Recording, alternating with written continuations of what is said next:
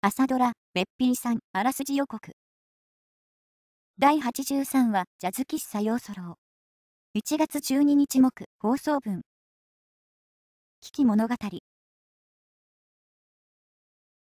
昭和34年、1959年4月。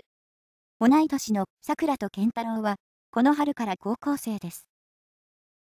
すみれとのりおは、健太郎の両親、はじめ、キアリスの面々を自宅に招き、桜と健太郎の高校入学祝いのパーティーを開きました。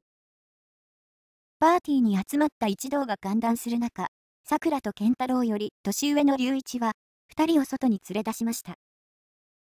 これが、大人の遊ぶ場所だ。